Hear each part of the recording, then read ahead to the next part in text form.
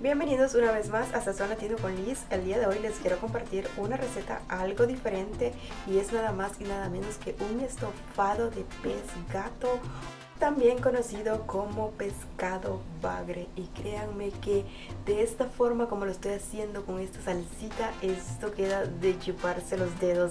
Así que si nunca han probado una receta de esta, tienen que probarla. Bueno, ya sin tanto rodeo por aquí, vamos ya a comenzar. Para comenzar ya tengo listo acá el pescado ya cortado así en pedazos. Vean que este tipo de pescado no trae nada de escamas. Pero obviamente tuve que limpiarlo, limpiarlo por dentro, ya que sí traía pues todas las tripitas y toda la cosa. El tamaño era más o menos así, aproximadamente unas dos libras y media son las que voy a estar haciendo. Y bueno, yo también estoy agregando la cabeza a este estofado. Esto puede ser totalmente opcional, si a ustedes no les gusta, no se la agreguen. Y obviamente le voy a quitar esos bigotitos de gato.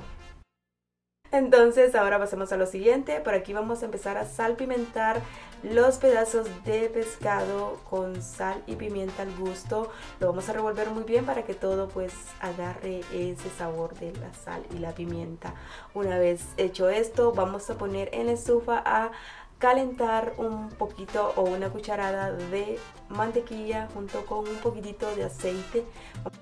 Vamos a esperar que esto se caliente un poquito para poder agregar los pedazos de pescado. Lo que vamos a hacer aquí es que los vamos a sofreír un poco, los vamos como a sellar. Entonces vamos a agregarlos acá y vamos a esperar, vamos a darles como un minuto, minuto y medio o hasta que veamos que ya agarró un colorcito así como dorado. Le vamos a dar vuelta y vamos a esperar a que se doren por todos lados. Una vez que veamos que ya están dorados por todos lados, entonces los vamos a pasar aquí a un plato. Los vamos a retirar de la fridera y vean cómo se ve este pescado ya. Mm, riquísimo.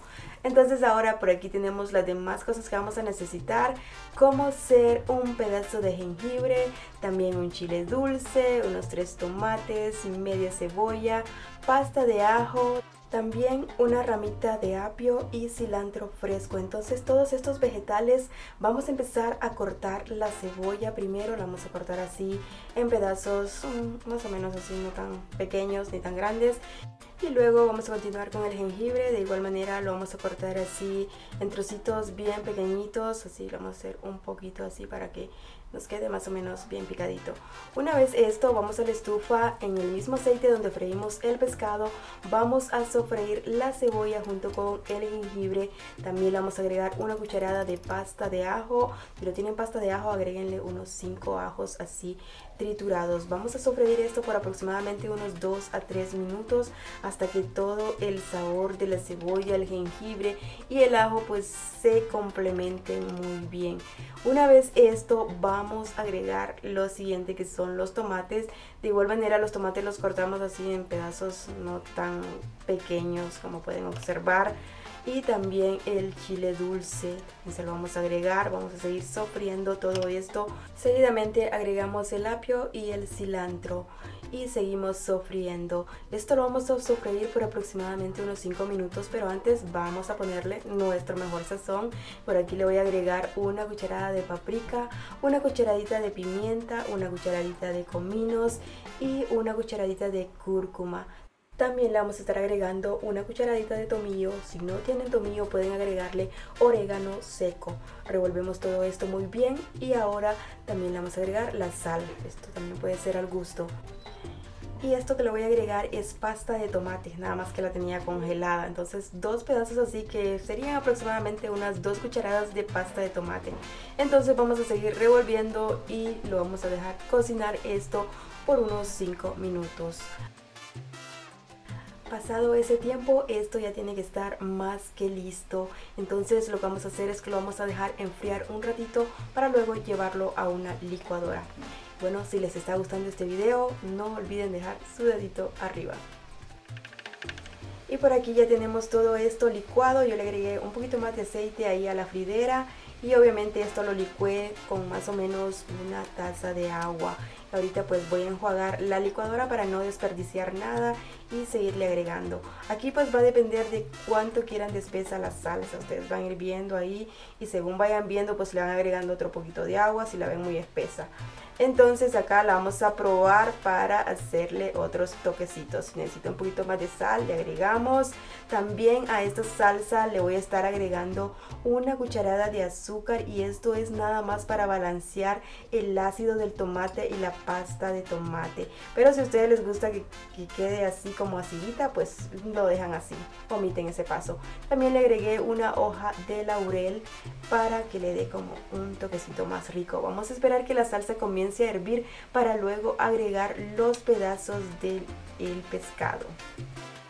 Ahora los vamos a revolver acá todo muy bien para que el sabor del pescado con la salsa pues se vayan como integrando. Vamos a tapar esto para dejarlo cocinar por aproximadamente unos 20 minutos a fuego medio. Les sugiero que cada 5 minutos estén dándole vuelta al pescado para que se esté cocinando bien y vean esto cómo se ve esta salsa y este pescado que créanme que esto queda pero de lujo. En verdad tienen que probarlo si nunca lo han probado. Cuéntenme en los comentarios si alguna vez han hecho este tipo de estofado de pez gato.